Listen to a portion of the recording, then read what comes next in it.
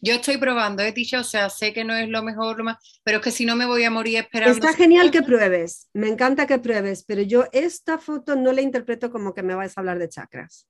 Claro, claro. Ahora, a esta foto, si quieres esto como fondo, en Canva puedes buscar luego una foto que la buscas por Google con fondo transparente de una persona sentada en posición de loto con los chakras así en colorines, ¿no? Y la pones ahí en medio. Sí, que tenga relación la foto con lo que voy a hablar. No claro. Vale, Para que entonces yo diga, ah, vale, vas a hablar de chakras, me meto a mirarlo. Si me interesa, si no, no me meto. Aquí es una foto del mar muy bonita y hablas del Reiki. No pinta nada la foto. Lo sé, es que no te como, es que ya te digo, yo estoy probando, porque por probar, bueno, pues, bueno. Mm, te invitaría por lo mismo, si quieres, vuelve a contar, colgar el mismo contenido. Vale. O la misma foto, pero montada en Canva y le pones el texto con letras grandes en el medio que se lea bien.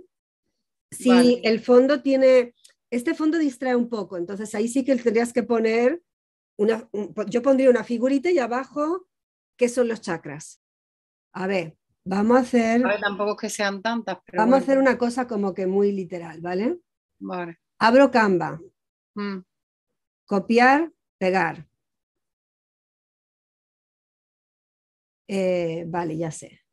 He cogido tu foto, ¿vale? Esto es ejercicio práctico número uno. Gracias.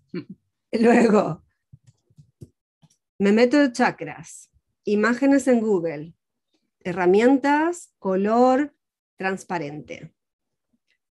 Entonces aquí tenemos fotos que se supone que son transparentes. A ver si esta de verdad lo es. Es transparente. Entonces aquí eh, copio, a ver si funciona. No siempre si funciona así, pero eh, probablemente lo que sí va a funcionar es descargarme la foto. Pero bueno, voy a probar simplemente a copiar la imagen y ver si Canva me la reconoce como transparente. Pegar es transparente. Luego, texto. ¿Qué son los chakras? Luego cogemos, la ponemos aquí bien grandota, algo así, la vamos a estirar un poco para que nos caiga todo en el mismo renglón. La metemos ahí en el medio.